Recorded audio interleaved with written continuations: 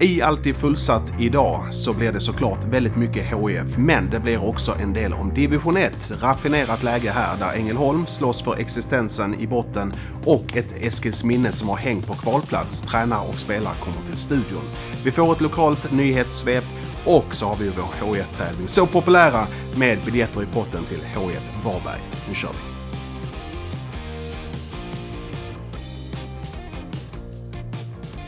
Ja, nu säger vi välkomna och välkomna tillbaka till Allsvenskan. Kristoffer Andersson och Tollarps egen Maradona, Johan Persson.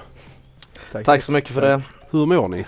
Nej, det är svårt att klaga va. Eh, otroligt skönt att det blev klart och eh, varit en turbulent helg och eh, någonstans så har man jobbat frenetiskt. Eh, alla i spelartruppen, alla i ledarteamet och hela föreningen för att nå den här målsättningen. Så någonstans känns det lite så här att nu man kan andas ut och känns lite konstigt kan jag tycka själv då men eh, eh, så hårt som vi har jobbat och så mycket som vi har eh, fokuserat på det här för att ta oss tillbaka det är otroligt skönt och otroligt starkt av, av klubben att klara det. Var det lite så luften gick ur? Ja men jag känner det personligen lite ja. att det blev någonstans någonting som hände där eh, fredagen, lördagen, eh, söndagen som inte var riktigt normalt i min kropp men Eh, Eh, det var nog något av det här att eh, ja, man har varit eh, så fokuserad på att nå en målsättning och nu helt plötsligt var det gjort och där kan det bli något konstigt psykiskt som mm. dyker upp i ens hjärna och det gjorde det nog hos mig i alla fall. Mm. Mycket anspänning där i Absolut. lång tid. Eh, Johan, ni åkte upp redan i, i fredags. Eh, måla upp en liten bild hur det såg ut där på hotellet framåt nio tiden var det va? Eh, när ni fick beskedet? Ja, nej det var glädje. Vi hade ju en korridor med, med massa rum där ju så eh, Eh, jag och Vanja Wandersson då delade rum och eh, hade matchen framför oss där ju så eh, men vi var lite senare i den så vi hörde det tidigare ute i korridoren att det var klart där så det var ren glädje bara. Hur minns du det Christer? Ja, det blev väl någonstans, vi checkade, vi kom upp och så skulle vi äta middag där vid sju och då började matchen och då började ju spelarna direkt med sina mobiler dels kolla matchen live och Ja ni kollade inte tillsammans? Nej, vi satt ju och käkade då ja. och jag vet ju PO och jag vet själv när jag tittar på matcher där jag vill att ett resultat ska bli på ett visst sätt, mm. då ska jag inte se matchen.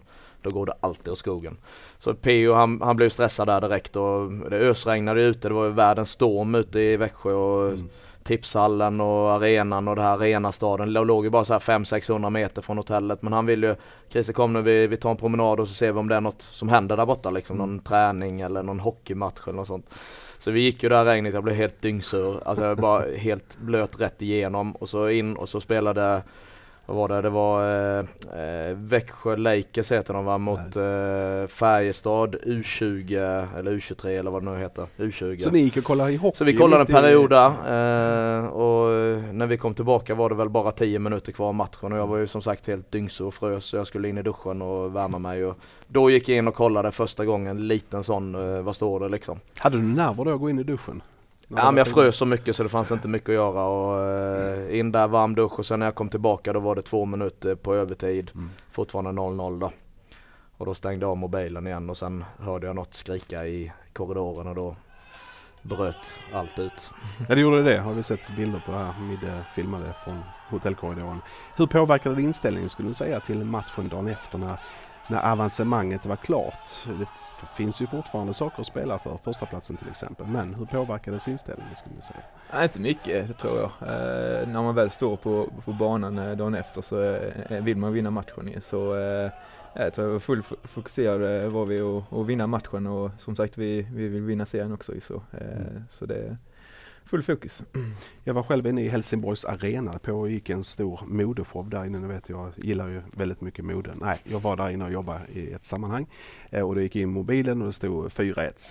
Så tänkte jag oj, oj, oj vad imponerande. Efter, efter att det blev klara precis och ändå gå in. Men sen tittade jag på slutresultatet så blev det 4-4. Va, vad hände där Christer?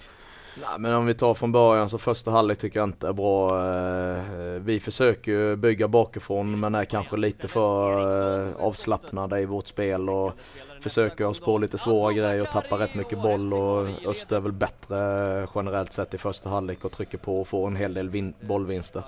Sen går vi ut i andra och eh, eh, detta är ju lite vår styrka att vi är bolltrygga bakifrån och vågar Eh, sätta in bollar på våra innermittfältare och vända upp och eh, eh, på det sättet bygga våra anfall på ett bra sätt. Och då får vi helt plötsligt väldigt bra effekt av det samtidigt som Micke kommer in och gör många bra rörelser och vi spelar en bländande fotboll i ja, 20, 25, 30 minuter. Och har ju 5-1 till och med som ett korrekt mål som eh, blir bortdömt för offside för att de bommar lite där med offside-linjen.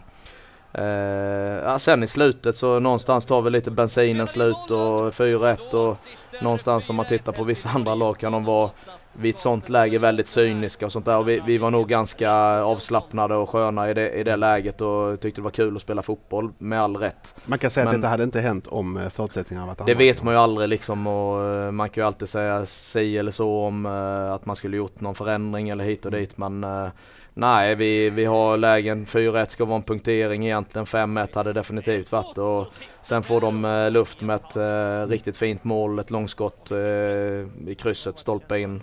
Eh, ja och sen eh, blir det lite stress där i slutet och slarvigt men Någonstans så fanns det nog i, i bagaget i, hos spelarna att det, det som hände dagen innan och det eh, som ska hända efter och allt sånt här att det kanske föll in någon typ av bekvämlighet där också. Och, ja, det, vi kan glömma det oavsett. Det, eh, det är klart att den segern hade varit fin i, i förhållande till en första plats i, i den här serien men det har vi fortfarande väldigt goda förutsättningar att ta och det, det tror jag alla är väldigt sugna på. Johan Sheriffen Persson sitter här. Han har inte spelat en tävlingsmatch sedan Degerfors i oktober va, förra året. Yes. Och nu var det dags för comeback, Mm. 90 minuten. Eh, Ja det var, eh, det blev lite så. Vi har, Chrisse kallade på mig, eh, du ska in i 85 och när jag tar på tröjan där vid bänken då gör de 4-2 och sen när jag går fram till domaren och ska hoppa in då gör de 4-3 eh, och sen hoppar jag in och sen gör de fyra lika och sen får jag tillbaka spel av Dajan, då blåser han om matchen så jag, jag fick röra bollen en gång och, men det var härligt att få komma in och, och äntligen vara tillbaka. Ja det måste det ju vara ju. Ja, Hur har den här tiden varit skulle du säga om du maler ner det i en, någon mening? ah, det, har varit, det har varit jobbigt, mentalt jobbigt har det varit. Mm. Eh, det är väl många stunder under året som man har tänkt kanske att eh, ja, eh, lägga av. Men eh, det har hela tiden känts att eh, jag har mer att ge och eh, det är det man har jobbat efter och därför känns det extra skönt att kunna vara tillbaka nu. Så. Härligt. Eh, rätt många som ville spontanhylla er när ni kom hem från Växjö sen. Hur, vad hände sen under kvällen? Nej som du sa det stod ju ett gäng eh, när bussen rullade in på Olympia med, eh, som ville fira och eh, jättetrevligt. Eh, nej men vi eh, gjorde en spontanare där och gick ner och käkade lite middag tillsammans med respektive och eh, ja sen blev det lite vidare där också men eh, det var inte något större organiserat så till den här utan eh, eh, gissar att det blir någonting eh, planerat inför eller efter sista matchen där vi kan hela föreningen med alla runt omkring och eh, ja fira, fira tillsammans där på ett bra sätt. Så är det ju. Så uppmaningen blir ju att kom till Olympia på nästa söndag 10 november och fira laget eh, ordentligt i samband med Varbergsmatchen där i avslutningen. Eh, hur är det att springa ut på en träning nu då? Ni har precis varit ute och tränat. Är det någon skillnad? Eh, sett till, ja, du har inte så mycket att jämföra med då. Men hur, hur är det att träna nu när ni inte har Nej men nu hade vi två dagar ledigt efter eh, matchen i lördags. Uh, idag blev en mer allmän träning att komma igång fotbollsmässigt. Vi ska ha ett ex- extra pass sen efter lunch också där vi gymmar lite. Men det är klart att uh, det som har hänt har ju satt sina spår på alla spelare och ledare och allting. Så uh, här har vi en träning idag att komma på banan igen och Eh, sen önskar jag mig att fullt fokus liksom att eh, alla spelare känner att ja, det är jätteskönt att vi är klara till det här steget och att, att det ändå finns någonting kvar att gå från den här första platsen att beta av två matcher och de här träningarna som är kvar på ett så pass fokuserat och bra sätt så att vi kan göra eh, bra resultat i de här två sista matcherna. Ja och det är ju inte bara prestige att ta den här första platsen utan det är ju en liten pengapåse som, som väntar lite större. Absolut och eh, jag tycker det är självklart att eh, ja, målsättningen är uppnådd. Vi är bland de två första lagen men eh, kan vi vara det första laget också och visa att vi är det bästa laget i serien i en tabell också så tycker jag det är värt att lägga den extra energin för att göra det på ett väldigt bra sätt och sen finns det som sagt en ekonomi bakom det att det genererar lite mer pengar än, en andra plats Så det, det tror jag är viktigt för föreningen att vi syr ihop det på ett bra sätt. Det tror jag också. Eh, först innan den där Varbergs avslutningen så väntar ju Värnamo på bortaplan ett lag som har gått rätt så bra nu på hösten och, och behöver alla poängen knepigt motstånd som väntar. Ja absolut. Eh, jag tror de hade fem poäng efter våren så de har gjort det fantastiskt bra. Så, eh, eh, vi måste upp i nivå om vi ska ha möjlighet där. Så, men vi som sagt vi fokuserar det här och, och börjar ny vecka nu och fokus in till den matchen. Så, som sagt vi kommer göra allt för att, att vinna serien. Alltså. Jag tror vi ska titta lite på tabellen hur den ser ut från toppen ner till botten. Så ser ni där att Värnamo sliter ju för sitt eh, liv där nere ligger på kvalplats och lär ju fixa den i alla fall men vill kravla sig över och eh, detsamma gäller ju faktiskt eh, Varberg i avslutningen som har samma poäng 29 29. Det är inga lätta lag att slåss med så här på östkanten. Nej, de slåss ju för sin ex existens där och de har ju ett eh, eh, inte så stort avstånd upp till eh, säker mark om man säger så. Så det, det, kan hända mycket i botten där innan eh, den här serien är färdigspelad. Och vad tror vi? Är det AFC som kniper kvalplatsen? Ja det tror jag. Det tror jag definitivt uh, de fixar. Eh, uh, sen där nere, ja uh, det kan i stort sett bli vilket lag som. Det, jag har inte riktigt koll på vilka de möter mer än att Värnamo och Varberg möter oss då. Uh, sen de övriga lagen vad de har för motstånd och sånt. Det är klart att hemma borta match och sådana förutsättningar som påverkar hur det kan gå där nere. Men det, det kan nog bli väldigt jämnt in i sista sekunderna. Och Boys tar motsatt riktning, får spela division 1 nästa år. Ja, nej men på, på, något sätt är det väl eh, lite tråkigt, jag som har spelat i Landskrona innan. Eh, eh, men så är det, det så är fotbollen. Stort tack för att ni tittade förbi här. Tack, eh, senare i programmet så får ni en genomgång av kvalfotbollen och lite nyheter i den lokala nordvästskånska fotbollen. Martin Pringle och hans spelare Jonathan Persson kommer förbi här och snackar lite om slutspurten i ettan. Den är raffinerande både för Eskils och AFF. Men nu först blir det en HF-tävling. Rätt svar på förra tävlingen var ju Max Svensson. Nu ska ni lista ut vem den här spelaren är. Om jag hade hamnat på en öde ö med den här personen så hade jag blivit väldigt lycklig för att eh, innan den här personen simmar då 10 000 mil och hämtar hjälp så har han byggt upp ett femstjärnigt hotell med en fantastisk bar till mig. Vem kan det vara? Så här långt har han varit eh, extremt punktlig eh, och så länge jag minns så har han alltid varit det fram till vårt förra frukostmöte där han bommade totalt. Ja, det drar ihop sig i Söderettan där Eskils minnes IF har häng på en kvalplats fortfarande. Välkommen hit tränare Martin Pringle, välkänt HIF-ansikte och den evige talang talangen Jonathan Persson. Tusen tack. tack. Hur kändes den prestationen JP? Ah, fantastiskt. Jag vet inte hur länge man är talang men uh, absolut. Eh, inför den här säsongen så hade Eskilsminne som nykomlingar en eh, målsättning om att eh, hamna på den övre halvan. Det har ju gått betydligt bättre så. Ja, det är över halvan men ni är ju en snubblande nära där uppe. Eh, dina tankar kring det Martin, utvecklingen av den här säsongen? Vi har haft en ganska så bra trupp eh, och den har varit rätt jämn. Och, men fastän vi har haft våra beskärda delar av skador och avstängningar så har vi ändå lyckats att få ihop det ganska så bra. Och det har vi nog gjort i form av kontinuitet egentligen med det som vi har jobbat och tränat på. Och framförallt de senaste åren när jag har varit här. Hur ser du på anledningarna till succén? Nej, jag håller väl med. Uh, alla är duktiga fotbollsspelare men det är ingen som är en eller två nivåer över någon annan. Så att, uh, det är en jämn, bra trupp. När under säsongen förstod ni att ah, men det här kan nog räcka rätt så långt? Vet faktiskt inte. Um, svårt att avgöra men vi kände väl någonstans att efter uppehållet i alla fall kände jag, jag vet inte hur killarna kände det på det sättet men efter uppehållet så känner man väl någonstans att om vi fortsätter på den här vägen så, så tror jag att det kan definitivt alltså leda till en övre halvan och kanske lite till med lite flyt. Men eh, att det skulle gå så här bra, det hade man kanske inte riktigt förväntat sig. Men nu har det gjort det och nu gäller det bara att trumma på. Sen har ni två, du sa att det är ingen som sticker ut så, men tittar vi i målprotokollet eh, i skytteligan i division 1 så har ni ju faktiskt två spelare på plats 1 och 2. Jag tänker på Robin Hofsö, 19 mm. mål och Emil Åberg, ständiga målskytten, 17 mål i år. Det är klart att sånt gör ju avtryck i, i en tabell. När man har två utpräglade målskyttar menar jag. Ja absolut, det är klart. De, eh, de har gjort eh, väldigt, väldigt bra. Det är inget snack om saken. Men Nu kom ju förlusten nu senast. Tråkigt att Mm. prata och gagga om gamla förluster och så men det var ju en oerhört viktig match mot Oskarshamn 1-2 och då blir man av med kvalplatsen direkt om man går på en sån bom. Fördelen var ju att vi hade faktiskt två poängs försprång så vi ligger ju egentligen bara en poäng efter med eh, två matcher kvar. Mm. Eh, Jag tror att Oskarshamn kanske, de var väldigt piskade att vinna den matchen för hade de förlorat den matchen så hade de legat fem poäng efter oss med två matcher kvar. Och det hade nog varit svårt att ta in tror jag. Så med den motivationen och den inlevelsen de hade i den matchen jag tror inte vi riktigt var förberedda på det i alla fall första kvart 20 minuter men sen efter ett tag så kändes det som att vi började liksom komma in och äta oss in i matchen men tyvärr så hade de redan tagit ledningen med 1-0 och då får man lite extra energi också. Mm. Vi ska se om vi kan titta på tabellen redan nu. Toppen i division 1 eh, södra och det som är raffinerande är ju faktiskt att Tvååker och Torn möts i denna omgången.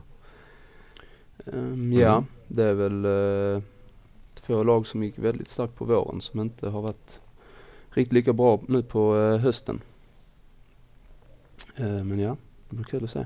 Det den här to- tabelltoppen som ni såg framför er eh, någonstans i somras att ah, men det är nog de här lagen som kommer. Ja, Torn var ju där uppe redan. Ja. Ehm, så att de såg man väl någonstans. Alltså jag tänkte lite grann som många sa för ett par år sedan när Leicester vann Premier League till exempel. Va? Att nej det kommer aldrig hålla. Nej det kommer aldrig hålla. Jag tänkte bara för mig själv, det där kommer säkerligen att hålla. Va? Mm. Men nu har de dippat på slutet lite grann. Men ändå, jag tycker ändå det att det är en rätt så det är bra gjort utav så pass många nykomlingar att vara med och slåss upp i toppen. Mm. Utav eh, både oss och Tvååker och även Torn. Och sen ska vi inte glömma att Lund ligger också ett par steg bakom. Som också är då en nykomling för i år. Va? Sen var Oskarshamn och Mjällby uttalade topplag egentligen. Eller rätt sagt Mjällby ville gå för att vinna serien samtidigt som att Oskarshamn ville också ta steget och ha satsat för det. Mm. Sen kan ni få hjälp av Ängelholm eh, som möter Oskarshamn Mm. denna omgången. Vad tror ni? De slåss ju för varje poäng. Så är det ju och vi har ju sagt det själva i den här serien att det, det finns egentligen inget lag alltså som, som inte kan slå någon annan. Och det märker vi också för att man plockar hela tiden poäng. Nu slog Grebbestad till exempel Mjällby och man vet ju om att ja men de har vunnit serien redan den här Mm. biten. Men det är ändå Mjällby de möter. Mm. Och även om Mjällby fick en man utvisad då så vinner de ändå matchen med 3-2 och det har ju också gett extra liv nere i botten i och med att nu skiljer det bara tre poäng mellan dem och Ängelholm till exempel. Vi ska titta på den eh, tabellbotten lite senare när vi pratar med Kalle Thulin faktiskt som kommer eh, inte hit men vi ska prata med honom om Ängelholms möjligheter där nere. Du Jonathan, du har ju ingått i en ganska intakt backlinje hela säsongen. Ni har ju fått spela ihop er verkligen som en enhet med Unkuri och Wahlgren och, och så är det du och så har vi den andra mittbacken som heter Jonathan Olsson. Jonathan Olsson, känd från HIF. Eh, men så kom fotskadan, sen blev du frisk och sen smäller du ihop med en spelare på träning och så är det revbenet. Ja, eh, jag hade väldigt bra försäsong och eh, spelade alla matcher utom en tror jag på våren när jag var sjuk. Ehm, sen har väl hösten inte blivit riktigt lika bra därefter fotskadan. Stuckit foten och var borta från tre veckors träning. Eh, sen kom jag tillbaks och eh, då hade Marcus Andersson gjort det väldigt bra på vänsterbacken. Så, eh, sen skadade jag mig förra veckan, spricka i revbenet. Jobbigt att inte vara med i den här matchen nu på söndag. Ja, eh, det, har varit eh, väldigt jobbigt att kolla på eh, alla matcher för jag har legat där uppe med hela tiden sen jag skadade mig. Så att, ja, det är trist men det är inte mycket att göra. Martin, vilka kvaliteter har JP som du kallas i folkmun som spelare? JPs största styrka är egentligen hans fysik och hans löpkapacitet med tanke på att han är en back som är med både framme och där bak. Um, sen att han har utvecklat de, de tekniska kvaliteterna och även uh, de taktiska kvaliteterna de senaste, ja, senaste ett och ett halvt året i alla fall. Tycker jag. Har gjort liksom att han har vuxit i sin roll och bara fått mer och mer självförtroende och bara blivit bättre och bättre. Och det har ju också gjort till att han har befäst sig som vänsterback alltså i eh, ordinarie laget. Eskils från början, sen Rå några säsonger där och sen tillbaka. Eh, Ja. ja, det stämmer. Eh, jag spelade i Rå eh, när jag var yngre också, i, ja, från 10 till 14 års ålder. Sen la vi ner det laget. Men ja, eh, bara representerat Eskil och Rå som seniorspelare. Du, eh, nu får du säga någonting om din tränare också om du recenserar honom som ledare. Och prata för hela laget Eh, kanske? Det kan du inte göra men Nej, utifrån nej men mm, absolut ja vad ska man säga, tydligaste det är ju det är tydligheten hur vi ska spela. Alla vet vad de ska göra. Max Andersson är egentligen mittback men eh, kommer in och gör det jättebra som vänsterback. Jesper Larsson har spelat yttermittfältare och ytterback och på båda kanterna och det är liksom alla vet vad de ska göra oavsett var man eh, hamnar på planen. Så det är väl eh, absolut den största styrkan. Att få alla att tro på samma spelidé och följa den. Att vara tränare på elitnivå, om det nu är superettan eller division 1, det är ju rätt slitsamt och har sitt pris. Eh, Martin, du har försökt eh, länge kombinera ett eh, nästan heltidsjobb med tränarjobbet i Eskils, men det har inte gått riktigt hela vägen. Du sa upp dig för ett tag sedan från ditt jobb. Ja det gjorde jag och jag kände väl redan egentligen i, i höstas, alltså förra hösten, att eh, det började bli lite mycket eh, med tanke på att vi hade kvalmatcher och vi var med på toppen och slogs i, i division 2. Och hade man då en möjlighet att kunna ta sig upp eh, till division 1 genom kval så kände jag liksom att jag, det kan bli jäkligt jobbigt nästa år om jag ska För jag vet ju också att man lägger ner så mycket tid och energi på att titta på, på andra lag försöka förbereda sig på bästa möjliga sätt och ska man göra det med ett heltidsjobb också så det går rätt mycket tid och jag tror att den tiden försummar man på att det blir andra som blir lidande helt enkelt och oftast tyvärr så blir det familjen som det har blivit nu. Och långa resor också. Även Längre det- resor i alla fall. Ehm, och det är, det är klart man är borta mycket redan från början från familjen bara genom att man tränar Mm. och eh, även på bortamatcher och sånt. Men eh, ska man då lägga till att man har ett heltidsjobb på det och ja, då, då blir det svårt. Nu hade jag i och för sig inte en riktigt heltidstjänst men med tjänsten som jag har i Eskil så blev det en, en 100% tjänst. Mm. Och då blir det att man är från åtta på morgonen och det handlar om fotboll då i skolan. På Linebergsskolan. Och då blir det åtta på morgonen till åtta på kvällen många gånger. För det här med att vara fotbollstränare, det är någonting du vill framöver också? Ja herregud, jag har ju varit eh, egentligen tror jag heltidsanställd fotbollstränare från 2004 tror jag. Mm. Fram tills jag kom till Eskil.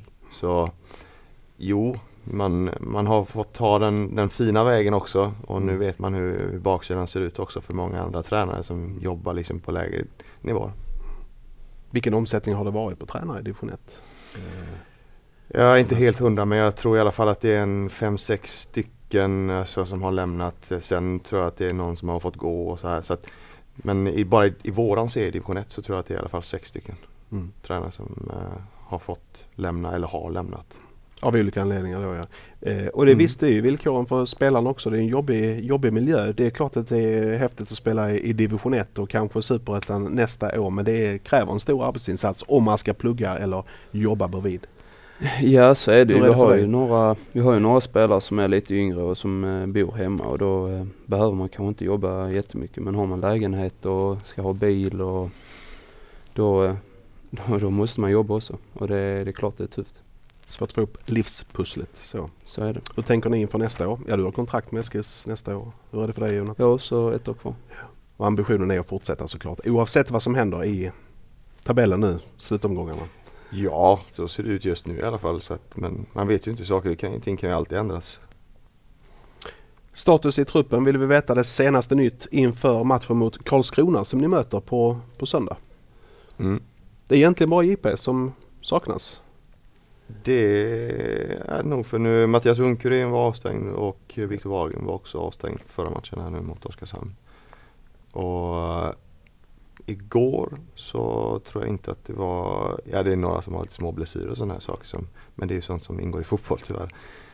Men annars så tror jag att det är bara JP som faktiskt eh, just nu är på skadelistan. Ganska ovanligt ändå med 3-4 omgångar kvar att man har nästan en intakt trupp. Ändå. Ja med tanke på att vi är 26 man i truppen så, Precis. så vi har 25 spelare i träning. Lite svårt att råda ibland. Förstår det. Eh, bra, eh, tack för att ni tittar förbi och stort lycka till nu i slutomgångarna. Tack så mycket. Eh, AFF håller ju till i den andra ändan av den här söderettan. Ligger på nedflyttning nu och har en poäng upp till säker mark ska vi säga med två matcher kvar att spela. Vi ska nu höra HF-spelaren Kalle Thulin som spelade hela matchen senast och höra lite hans tankar om, eh, om Ängelholm och fortsättningen här i slutet. Du spelar hela matchen senast. Eh, ja, vad tycker du om den till att börja med? Nej, vi inleder bra. Vi gör en bra första halvlek. Jättebra. Har många lägen och, och sätta dit den, men vi gör tyvärr inte det. Och sen så eh, blir det sämre i andra halvlek och vi går ner oss lite. Men får ändå in målet där till slut och sen så får de ett eh, lite turligt mål i slutet. Så det, det är tungt, men eh, vi plockar med oss en pinne och kör vidare.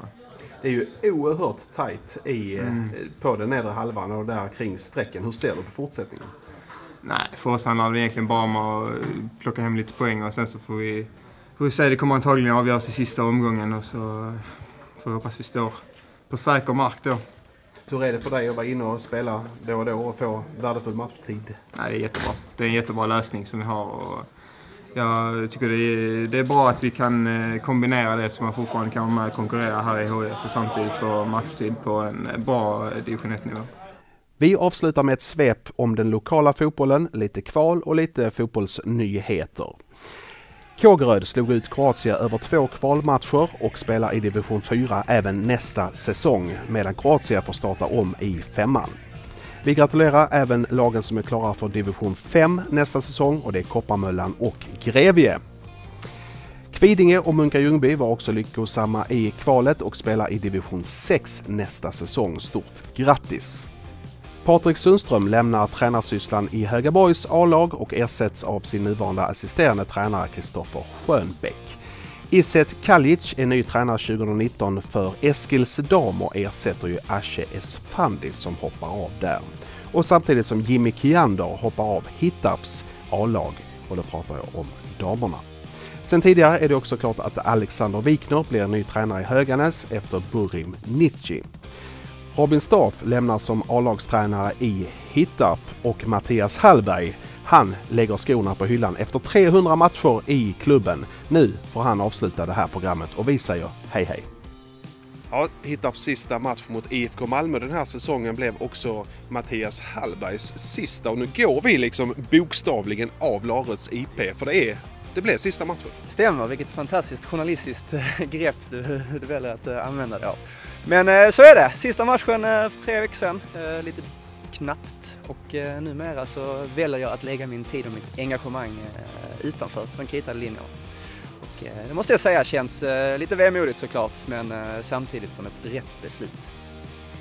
HIF, Ramlösa Södra, Ängelholm och nu hittar på senaste kanske sju åren. Eh, var hittar du dina höjdare under din karriär? Ja, idel eh, digniteter på den eh, nordvästskånska fotbollshimlen. Så att, eh, seriesegern 2016 är väl mitt starkaste minne så. Det var en eh, förbannat rolig dag och kväll med allt vad det innebär. Sen eh, självfallet eh, matcherna i Superettan, framförallt då kanske på Söderstadion i Hammarby. Och så alla seriesegrar som man hunnit med under eh, resans eh, lopp. Det är få förunnat att vinna serier men eh, att få vara med om fyra stycken eh, betraktar jag som, eh, som en fin, ett fint minne så. Sen självfallet alla härliga människor man stött på i olika kulturer, olika åldrar i, i omklädningsrummet. Så att, jag inbillar mig att det har gjort mig till en bättre, mer förstående människa.